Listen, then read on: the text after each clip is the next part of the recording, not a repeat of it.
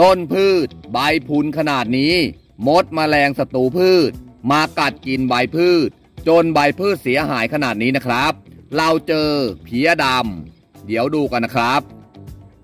เห็นไหมครับ เพี้ยดำมาเกาะกินที่ใบพืช มากัดต้นพืชและมาทำให้ต้นพึ่งเราเสียหายแบบนี้นะครับ ทางช่องวิธีไทยพีชแนล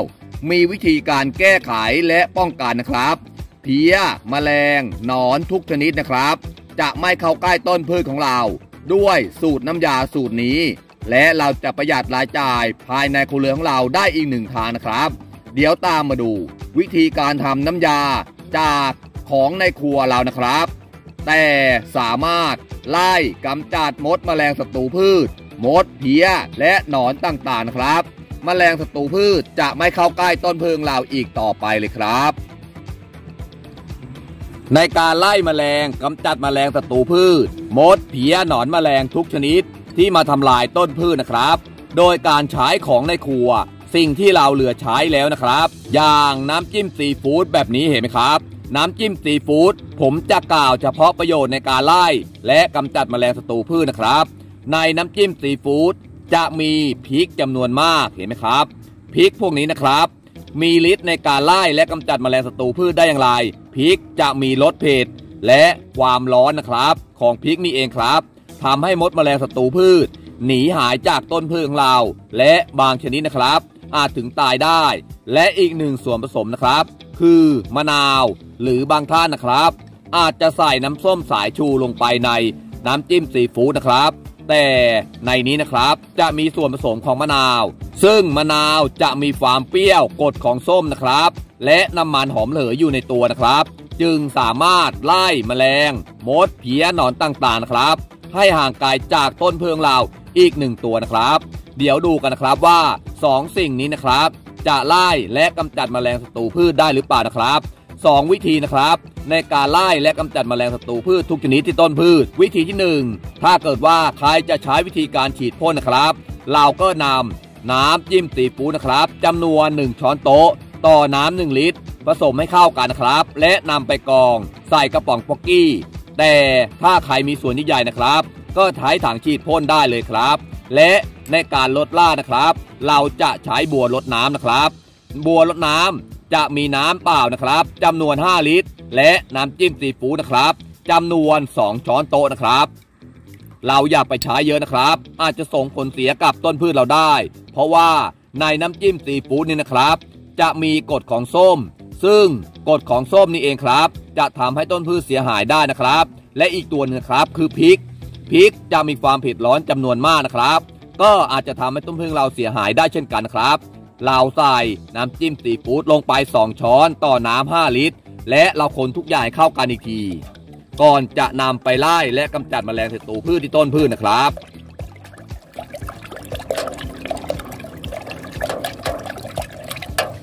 ก่อนที่เราจะนำน้ำยาสูตรนี้มากำจัดศัตรูพืชที่ต้นพืชนะครับ ผมจะพามาดูต้นพืชต้นนี้กันก่อนนะครับ เสียหายมากเลยครับ เกิดจากแมลงศัตรูพืช มากัดกินใบพืชนะครับ รวมทั้งเพีย มีเพียดำเต็มต้นพืชเลยนะครับ และยังมีมด มดเป็นตัวการในการเกิดเพีย ถ้ามดไม่มานะครับ เพียก็ไม่มาครับ เพราะว่า มดจะขนเพียขึ้นต้นพืชนั่นเองครับ ผมจะพามาดูเพียดำนะครับ เห็นไหมครับเพียดำเต็มใบพืชเลยครับ และต่อไปนะครับ ถ้าเป็นแบบนี้ต้นเพืองเราเฉาตายแน่นอนครับ ในวันนี้ทางช่องวิธีไทยพีชแนล เลยมาช่วยชาวสวนทุกท่านนะครับ ถ้าใครยังไม่เคยกำจัดเพี้ยดำนะครับ ลองใช้สูตรน้ำจิ้มซีฟู้ดเราใช้ 7 วันต่อหนึ่งครั้ง และเราใช้อยู่เป็นประจำนะครับ ต้นพืชของเราจะปราศจากเพี้ยดำและมดแมลงศัตรูพืชมารบกวนเลยครับ ในการใช้นะครับ เราจะต้องใช้ตอนช่วงเย็นถึงพบค่ำนะครับ ไม่ว่าจะเป็นวิธีการฉีดพ่นหรือลดลาดไปที่ต้นพืชแบบนี้นะครับ ในการลดลาดหรือฉีดพ่นนะครับ เราจะต้องลดลาดหรือฉีดพ่น ให้ทั่วต้นพืชแบบนี้เลยนะครับ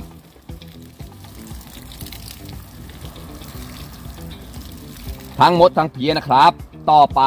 จะไม่มารบกวนต้นพึ่งเราอีกต่อไปเลยครับ และถ้าทุกท่านนะครับ ลองสังเกตว่าต้นพึ่งเราเป็นแบบนี้นะครับ ลองใช้สูตรน้ำจิ้มซีฟู้ดถ้าเกิดว่าบ้านเราเหลือน้ำจิ้มซีฟู้ดนะครับใช้ในการไล่และกำจัดแมลงศัตรูพืช ที่มากัดกินต้นพืชแบบนี้ได้เลยครับ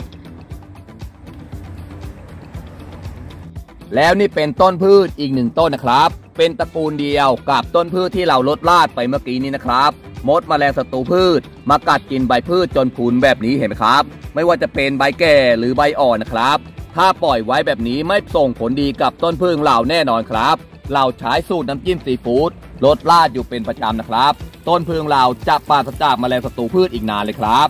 และคลิปนี้ผมว่าทุกท่านจะได้รับประโยชน์นะครับ ในสูตรน้ำจิ้มซีฟู้ด ไล่กำจัดแมลงศัตรูพืชเขือมีทั้งมด และแมลงศัตรูพืชเข้ารบกวนนะครับ เราใช้สูตรนี้ลดลาดอยู่เป็นประจำเลยครับ ได้ผลดีแน่นอนเลยครับ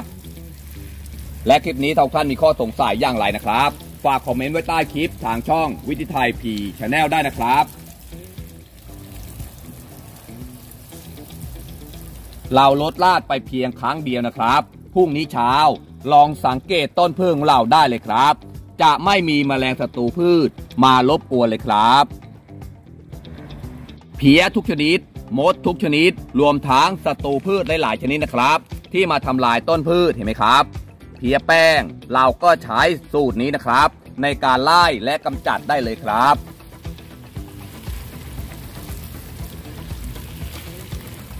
ในการลดลาดนะครับ ผมจะเน้นอีกทีนึงนะครับ เราจะต้องลดลาดให้ทั่วต้นพืชเลยนะครับ น้ำยาจึงจะได้ผลดีเลยนะครับช่างภาพลองซูมเข้ามาในบัวรดน้ำเห็นไหมครับ จะมีพริกจำนวนมากพริก ซึ่งมีความเผ็ดร้อนนะครับ จะไปไล่และกำจัดแมลงศัตรูพืชได้ผลดี และมะนาว มะนาวมีความเปรี้ยว และน้ำมันหอมระเหยนะครับ จึงสามารถไล่และกำจัดแมลงศัตรูพืชได้เลยครับ ในการลดลาดไปที่ต้นพืชนะครับ ถ้าต้นพืชของเรายังไม่มีแมลงศัตรูพืชมารบกวนแบบนี้นะครับ และเจริญเติบโตติดดอกออกผลแบบนี้นะครับ เราก็สามารถใช้สูตรนี้นะครับ ในการป้องกันแมลงศัตรูพืชได้เลยครับ และคลิปนี้ก็จบเพียงเท่านี้นะครับฝากกดไลค์กดแชร์ กดติดตามให้ช่องวิทยไทยพีชแนลได้นะครับ ขอบคุณมากครับ จากวิทยไทยพีชแนลครับผมสูตรในการไล่และกำจัดแมลงศัตรูพืช อย่างมดเพี้ยหนอนแมลงทุกชนิดนะครับ โดยใช้ของเหลือใช้ภายในครัวเรือนของเรา อย่างน้ำจิ้มซีฟู้ดนะครับ ได้ผลดีแน่นอน และถ้าเราใช้อยู่เป็นประจำนะครับ ต้นพืชของเราจะติดดอกออกผลแบบนี้เลยครับ